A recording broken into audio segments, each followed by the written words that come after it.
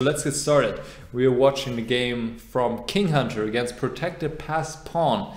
And King Hunter started out with knight f3. And we'll go through the opening pretty quickly because it's all mainline theory. It's a Catalan. b3 is not the main move here, but I'm supposing that you looked at this beforehand and uh, that you like this move. I mean, there are other options, right? There's knight c3, there's queen c2 I'm not a big Catalan expert, I have to admit, so I cannot really tell you what's the greatest move here. I don't know, um, but I just know there are many options. Bishop b2, I mean, this is all very sensible, so I don't, there's nothing here that I would like to, well, criticize in any way. Rook ac1 also makes sense, h6, now queen b1, I think is also a decent move. I mean, the other move would be to go for e4 immediately, but okay, get the queen out of the c file where it's right opposing the rook. So queen b1, knight h7, but now, now your opponent has just removed a piece from the center. The knight was aiming at e4, so now it feels like it's the perfect moment to go for e4, right? And you also have to ask yourself, well, what what is my opponent up to. Knight h7 looks a little bit odd. Probably wants to go f5 to um, get a better grip on the center and get like kind of a Stonewall structure. And so in those two ways, first off, well, what did my opponent just do and how does it change the position? And then secondly, what does my opponent want to do next and how can I prevent it? Both these moves would lead you to e4 and that's actually it's a standard move in these positions I think because I don't know what else to do. I mean you played 95 which is also a decent move but at some point one always plays e4 puts on more pressure on the center so now would have been a good moment I think. Okay if black doesn't take you can gain some more space with e5 uh, and if he takes, he'll take with the knight, of course. Knight of 6. I mean, knight is now stupid on h7. Obviously, black will not play f5 because that would leave him with a weakness on e6. So knight f6. And now, for example, take. If knight takes, you could put your knight on e5, which looks pretty decent. And if bishop takes, knight d2, bring another knight to e4. And also what is important here, not allowing black to play his typical break in the center with c5 because then his bishop would be hanging. So this is just a little bit more comfortable for white because of the space advantage. And you just want to watch out that you don't allow black to equalize with c5. You always want to either, well, not allow because the bishop is hanging or be able to answer with d5 in a good manner. So this is the typical stuff people do here, I'd say. But 95 is also a very typical move. Just feels like e4 was a little bit more natural. Takes, takes, and now your opponent still goes f5. Okay. All right. But now I think you could have taken en passant.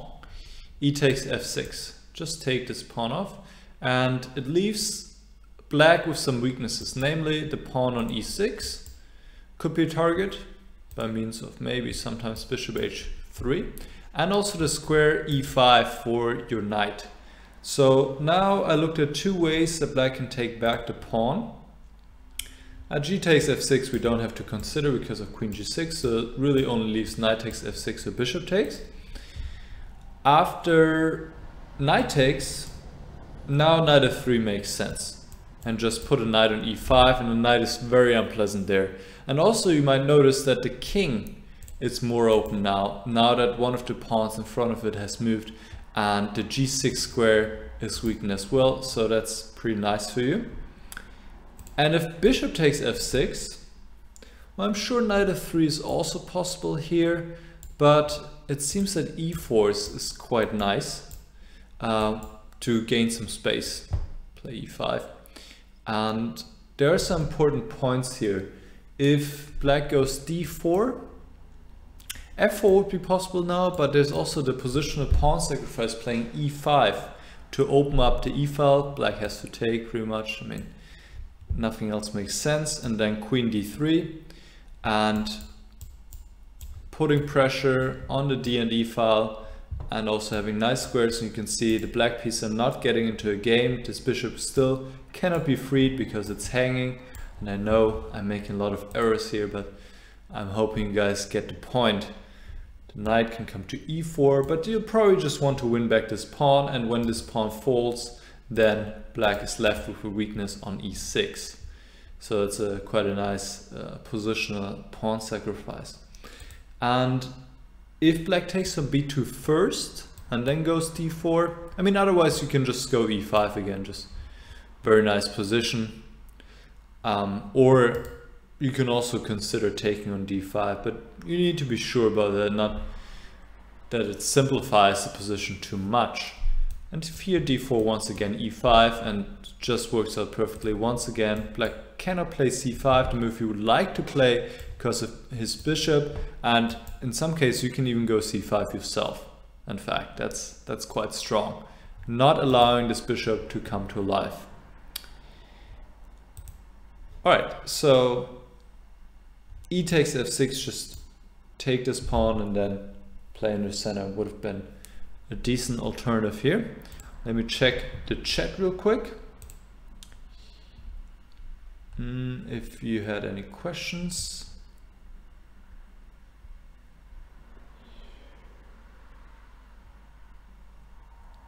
So there's some discussion about Do you know anyone who explains the Catalan? Ah, Georg Meier, I see. All right.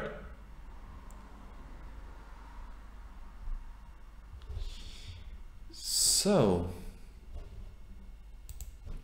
let's get back to a game. Knight f3 makes also sense to me, aiming to d4. Now your opponent plays a strange move, a mice g5, which is not really achieving that much and it's, it's weakening the black weakening the black square considerably. So you go knight is d4, very natural, very good, but this is probably the the well, this and the next move, those are the most critical moments in the game. So far, the game has been pretty normal. Um, and here you could have, I mean, could have blown your opponent out of the building pretty much uh, with two different ways. So you go f4, but f4, well, it's stabilized upon e5, but it's not doing much. It feels to me, it's not improving your position in any way. It's like, okay, you play f4, but if you had another move, what would you play next, right? It doesn't, doesn't achieve anything as far as I can see. So there were two ways to crack open the position. That's what you want to do here because the black king you see two of the pawns in front of him have already moved. There's not a lot of defense left. And one way would be to go e4. I understand this is a difficult move to find, but one just has to look for it. If one looks for it, then becomes soon very obvious. It's very strong. Okay, first point is f takes e4 is bishop h3 when black cannot defend upon on e6 and black just lose material already, at least in exchange on c8.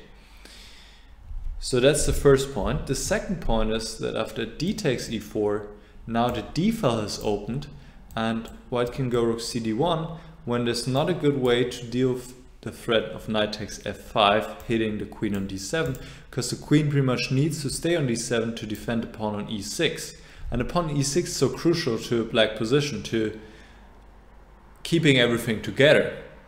If the pawn e6 falls, then later on this pawn can move, this bishop becomes open.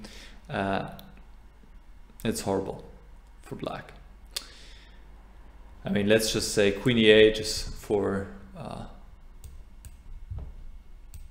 demonstration sakes, rook f7, and now maybe even further undermining the black pawn structure completely g4 or knight d4 uh, followed by g4 but g4 looks really nice Of course, you can also think about f3, you just want to open it up, right? And that's also a problem with f4. You're limiting yourself in the future. You don't have those breaks available anymore. Because the pawn will be on f4, you cannot play e4 anymore unless it works out tactically, but you cannot prepare with f3, for example. Does black have any other moves after e4? Well, he could go c5 now, as he did in the game, but it's not difficult to see that this is just a crushing sacrifice. Because you're just, just winning the two center pawns, I mean not winning them in exchange for the knight, but e6 and so on. And um, this is just winning. I mean, what else to say? I don't even know what to suggest. Queen g6. But now even e takes f5, if rook takes f5, bishop e4. Oof, I can't even look at this. it's just all, just plays itself, right? Um, so e4 was very strong, but I, I understand it's a difficult move to see. I mean, it would take certainly me some time to find it. Um, but there's another move which is also very strong, which is g4. And I think this move's easier to find because, well, you're also like attacking the pawn chain and um, black doesn't really have a good way to deal with this. Of course he cannot take, that would allow the queen in and the position falls apart. And um, if, well, c5 is a similar story, I think. Or c5, there might be um, also c takes d5 possibly. But I think there, there are probably several options. And if bishop c5 and g takes f5, well, what to do? I mean, if e takes f5, e6 looks crushing, and if bishop takes d4, now if white had to take back, then rook takes f5 wouldn't be that bad yet. I mean, it would be still pretty bad. But not that bad. But now you can take on e6 intermediate move and um, you're up a pawn plus weak black king plus bishop pair and so on and so forth. So this is winning or very close to winning. Um, yeah, so those two moves were really good. Uh, you could also play differently, but yeah, in one way or the other, attack the black pawns. That would be the way to go. And also f4, I'm not sure if it's doing something prophylactically because what the opponent did next was to go c5. And yes, after f4, c5, you have a good way to reply to that, but uh, actually you didn't do it. Um, so that kind of tells me, hmm, maybe you didn't consider the move by your opponent. Well, well, what your opponent wants to do next. Otherwise, it could also, I would also consider like playing rook to d1. So if c5, I could just bang out knight takes e6. Okay, and then again, just get these pawns rolling. Uh, this, this should be really good once again. All right. So let's see what happened in the game. You played f4, now c5. And now, after you move the knight to b5, uh, your advantage is gone. Because black gets d4 in, and what we try to avoid the whole time, right, to that black gets this bishop active, well, that's happening now, and he's actually gaining space and restricting, restricting your bishop. So here you had to move c takes d5 available. And that's, you know, a classic tactic. Um, just always consider the, the capture moves. So bishop takes d5. If e takes d5, there's once again e6 followed by knight takes f6, f5, so that's no good for black. And if e, c takes d4, then d takes e6, and black cannot keep the bishop b7 protected, and you win back the piece with interest. So bishop takes d5. And now first, it's like, hmm, okay, well, looks like black is doing okay, but then you need to check another capture move, right? How many capture moves do we have here? Not that many, right? We have f takes g5, okay. That's not doing much, c takes d4. We have bishop takes d5, that's a natural move, but black just takes back with the queen and hmm, not much happening there. Then we have knight takes e6, we can throw that out of the window pretty quickly after bishop takes e6. But then we check knight takes f5 and we'll be like, hold on, let's check this for a moment. Because if rook takes f5, there's e4. Or maybe even stronger, no, e4, right. e4 right away. And that's nice for white. The rook has to move and then take on d5 and great position. Let's say this, this, and now, oh, ooh. Ah, that hurts. Um, so rook takes f5 is no good. e takes f5 can be answered by a pin on the d file and well, it regains the piece and then you see those bishops, they're going to be monsters. Uh, bishop on d5 and then e6 might be coming next. And you're already up a pawn. We should not forget that either. So the best black can do is bishop takes g2. And now at the very least we can see, okay, I can take on e7 with check, intermediate move, and then take back the, the piece. That's pretty good. Um, to make it even better though, is to attack first the queen, rook cd1, but okay, this is a little bit advanced stuff obviously, um, because one has to realize now that bishop d5 doesn't work due to rook takes d5. But okay, this advanced stuff, I mean, you don't need to see this before you play it, you could be just like, okay, I'll take on e7, take on g2, I'm up a healthy pawn. All right, that's good. Um, and this is working here because queen takes d5, knight takes e7, and e takes d5, knight takes h6, followed by e6 check, picking up the queen, monster bishop. So that means here black will need to move the queen, but now you take on e7, you see the difference?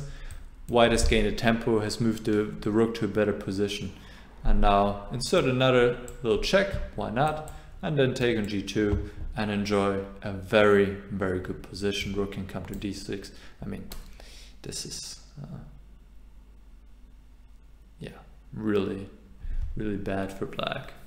I guess after g takes f4, one wouldn't take back because of rook g8, but maybe just take an h6. Looks pretty good. All right, let's return to the game, but before I do so, let's check the chat. Why is my chat window so small? I have to do all this scrolling. All right, so Ian, you're saying e4, g4 was not a mechanic move. We'll have them on the horizon next time a structure like this comes up. Very instructive ideas. Thank you. Yeah, that, that's always the thing. I was also just reading in a book recently. Why do we miss moves in general in chess? Because we're not looking for them. Um, it's, it's as simple that, right? If you're not keeping an eye out on all the possible moves like an engine would do, uh, of course, you don't need to look for all possible moves, but you want to look for, um, well, all that makes sense in any any way, right? Um, as long as we're not looking for them, we're not going to see them, right? So that's just a major takeaway for all of us all the time. Right? We just constantly have to be look on the lookout. All right. So let's get back to the game.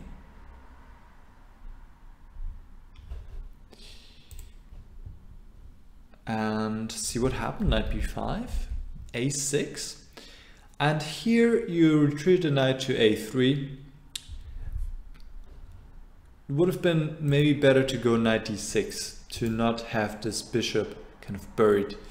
Um, okay, the, the knight can be allowed there. He takes d6. So this is kind of a, like a positional pawn sacrifice and black shouldn't take on d6 now. he should go d4 to close this bishop off because otherwise queen takes d6 you can go bishop e5 and you have a monster bishop. I mean this bishop is worth definitely a pawn. Black doesn't have a counterpart, that's the important part. And of course his king is so open because he has moved these pawns. So that makes your position quite nice and you can definitely create some threats on the long diagonal. Maybe play e3, rook fd1 and then at some point one can think about putting up a battery on the a1 h8 diagonal to harass the black king. That's very nice compensation. So black should go d4. But now still take on b7 and try to open it up again with e3. And it seems to me position is rather unclear here. Definitely more interesting or well definitely better than what we see in the game. All right, so just to another idea to keep in mind, to sacrifice a pawn to open up the bishop, especially when the black king or your opponent's king has been opened up so much and your opponent is lacking the, the bishop of the same color as yours. So knight a3, d4, takes, takes, queen d3, g4, and now, now you're doing everything fine. Oh, that was a little bit too quickly, my excuses. Uh, you're doing everything fine, rook to the d file, e3, that's the way to go. You just don't have an advantage anymore, right? Your bishop is biting on this pawn e5. On the other hand, the black pieces are not any better, so it's fine. So now you trade everything. That's also very smart. Queen g2, the queen was well placed on the long diagonal, the black queen, so it's good to trade it off and the rooks come off and this is just a dead draw. There's just one thing one needs to keep in mind is that the pawn on h3 is far advanced and that creates tactical resources for the opponent. And that's really the only thing you have to keep in mind. But unfortunately, you weren't probably aware of this motive, what we'll see in the game. So there's really not, not much you can do. Either you've seen this before or you haven't. And if you haven't seen it before, it's not easy to spot it. So um, it's just unfortunate and um, it will certainly not happen to you again. So here your opponent kind of lured you into also moving your king closer to the to the queen side, but I mean nothing is happening there. If you just keep with your king, just stay with your king over here, there's nothing nothing going to happen really. Um, black will not be able to to break through. Just put a knight on e3 and that's pretty much it. Bishop to c3. Nothing will happen. But after king d3, unfortunately, bishop h4. And um, that's it. Just because black has advanced the pawn so far. Um, and that's, I mean, something to consider for your own games as well. If it's possible, it can be often useful to put a pawn h6 or a6, h3 or a3 if you're black, because it creates these tactical ideas in the endgame. And well, when the pieces are on the board, of course, it creates mating ideas. So it's, it's always nice to get this pawn. Most of the time, it's nice to get the pawn very far up the board. Yeah, bishop h4 there's nothing to do. Knight e3 bishop takes g3 yes you're stopping him from taking on h2 actually he could also take on h2 here I suppose. That also works. Um, but he just took an f4 simple enough. He just won two pawns. Now the knight is coming and there's just nothing to do. So yeah, that's um, tough to lose like that, obviously, since you were better the whole game pretty much and you had a uh, pretty much winning advantage at that one point. But, um, well, that's chess, as they like to say. Uh, just one, one um, moment of uh,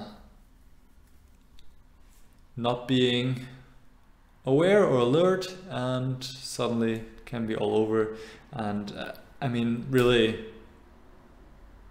there's not much to do here. If you haven't seen his motive before like I said then it's not easy to spot in a game.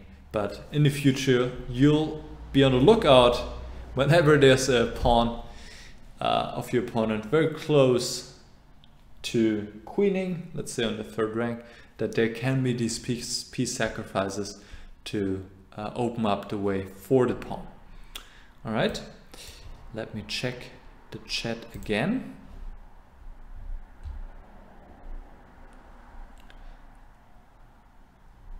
And you're saying the same thing, that you'll not forget this motive ever again. Yeah. I mean, a lot in chess is like experience and pattern recognition.